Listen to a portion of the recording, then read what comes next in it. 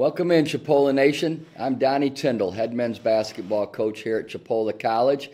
Got a special guest with us today, my two guard, Zacho Littleton. Zacho, we're glad to have you here, and uh, I know our fans are excited to kind of hear your story. So let's just get started. Tell us a little bit about yourself, where you grew up, your high school career, maybe a little bit about your high school coach, your family, etc.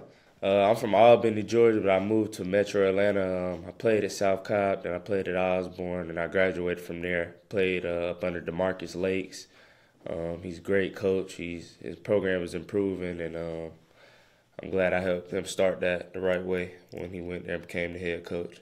Yeah, now you say South Cobb, and I knew you went there, but uh, I want to say I had a, a young man may have been at South Gwinnett though, but South Cobb. Do you know the name Sam Goodman at all? Uh, no, sir. Okay, yeah. Sam played for me at Morehead State, but I think he was a South Cobb guy, and we went to an NCAA tournament with Sam. So hopefully uh, you can win like Sam did, right? Yes, sir. Of course. Now, tell me after high school, you made a decision at one point in your career. You had committed to uh, Memphis, right? Yes, sir and you changed your mind, ended up going to Appalachian State. Tell us what kind of went into that whole process for you as you were making that decision, Zach.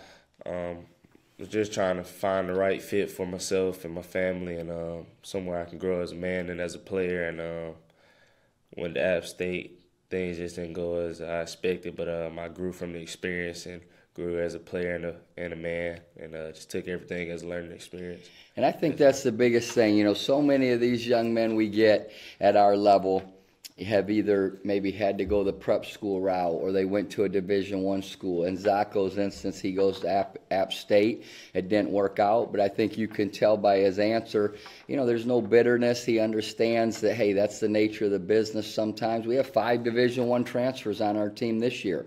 Um, but the biggest thing to tell these guys all the time and i think he said it perfectly is you have to grow and you le- learn from each and every experience. And then you're kind of back out as a free agent, right? Like yes, I'm sir. back in the G League, and you're you're looking around and you're trying to make the next decision that you think will be best for you. And I know you had about every junior college in the country recruiting you. What made you pick Chipola?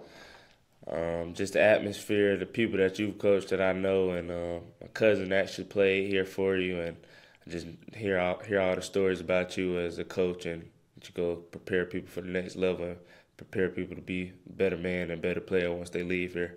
Well, Zacho is referring to Chris Gardner. Uh, KG was a young man that I coached for two years, had an outstanding two years, led us to back to back Final Fours, and then signed at Southern University, and just a tremendous young man. And when he says he's heard about me, that means if he's talked to KG, he's heard the good and he's heard the bad, right? Yes, sir, of course. but, you know, we, we joke about it, and I do coach my guys hard, but we tell them all that on the front end because we want them to know the expectation and the demands when they come here to Chipola.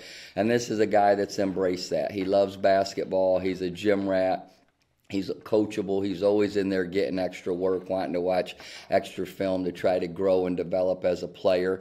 And what I'd like you to tell our fans is okay, you picked Chipola because of the tradition, maybe a little bit because of Coach Tyndall. But now that you've been here for five, six months, right? Because you've yes, been here since June, tell us something that has surprised you, good or bad, on the basketball side, and then something that has really stood out to you away from basketball that makes Chipola a special place?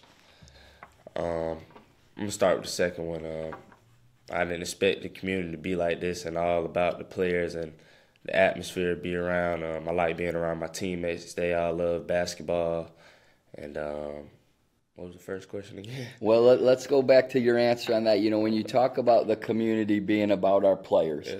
I think, you know, that that's a great point because so many people here, until they get here, they don't vibe it, they don't feel it.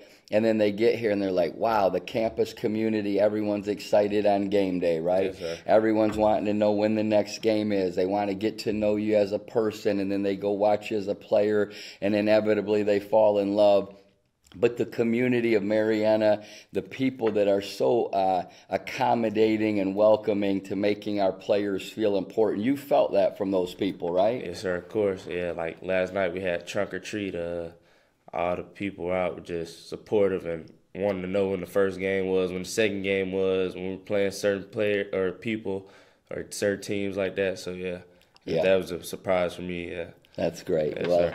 I love that about Chipola. It's a very, very connected community, and people love their Chipola hoops. That's for sure. Yes, sir. And then back to the first part of that question, maybe something good or bad that has surprised you about the basketball element being here at Chipola.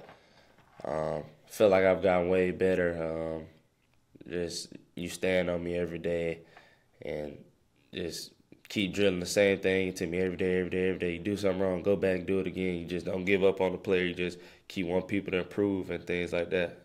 Yeah, and and I think you know I tell I tell our players all the time like that's my job. I don't ever want a player to lay his head on the pillow at night and say, "Man, if Tyndall would have coached me harder, he would have held me more accountable, I maybe would have been here instead of here." And um, and Zacho's a guy that embraces that. Most of our team does, but I think he's a guy that wants to be coached and he understands the importance of being taught and directed and coached each and every day, and, and that's important, and that's why you get better, right? That's why guys grow and improve, and, and you've certainly done that. Um, tell me this: What do you think about our team? First of all, as a team collectively, maybe the personnel, the intensity, the strengths, weaknesses, and then about them as teammates to this point. Um, as a collective whole, I think we're pretty good. We're gonna be pretty solid this year. Um, I like the pieces that we put together and brought in as one this year to try to win the national championship. And um, as one, as a whole, individually, I like I, I vibe with all of them pretty good off the court. They're all good people. They love basketball, love being in the gym. Um, I mean, we, we go at it in practice and off the court. We all best of friends. So Yeah. And that, and that's cool, you know, a place like Marianna where there's not a lot of nightlife, right? yes, sir. Not a lot of different things going on. It's you guys hanging out at the dorm, playing video games, talking talking trash, having a good time, right? Yes, sir. Tell me this, who's the funniest guy on the team in your opinion? Uh, I think Miles Grace. Uh, just, we got a few funny guys. AJ. AJ. Yeah. See, and it, it's so amazing to me when I don't see those guys in that setting as much. So a guy like Miles, who doesn't say much around me, but then I had two or three guys say, "Oh, he's hilarious, Yeah. coach." You know, he's always cracking jokes and having fun. So. I think that's pretty cool. You guys get to know each other in that regard and have a good time away from the floor. Well, I always give each guest on the show, Zacho, a chance to ask Coach T a question. So it can't be no hard, tricky stuff. Now, take it easy on me, but any question you may have for me, I could answer for our fans. Uh, how did you feel when you were coaching the NCAA tournament? How did I feel when I was coaching the NCAA tournament? Well, I was fortunate enough to be in, I guess, let's see, one as an assistant coach when I was at LSU. We went to the Sweet 16. Two as a head coach uh, when I was at Morehead State. And um, probably it's such a surreal feeling, Zach, because you grow up your entire life thinking about that. I wasn't fortunate enough to play in one as a player, played Division One, but never made the NCAA tournament.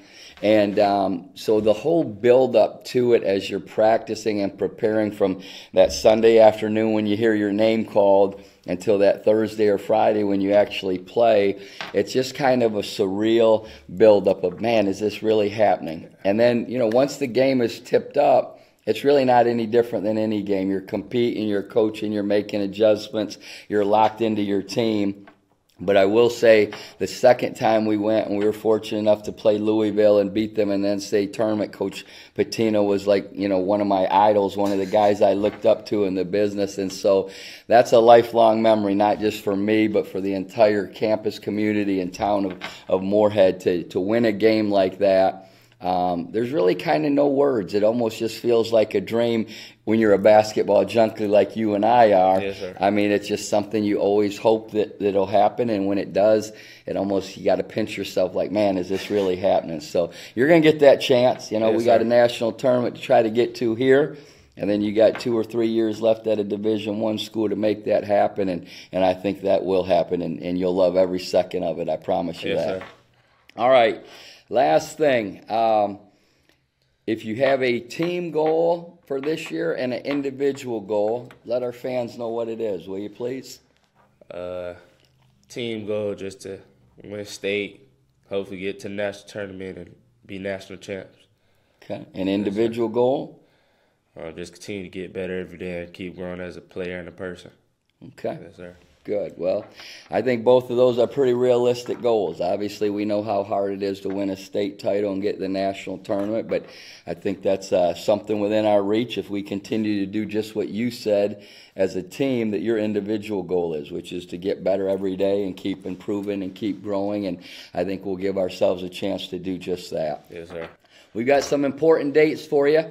Um, November 2nd, which is Thursday, this week, Thursday, we open up at home against Reid State, 7 o'clock tip.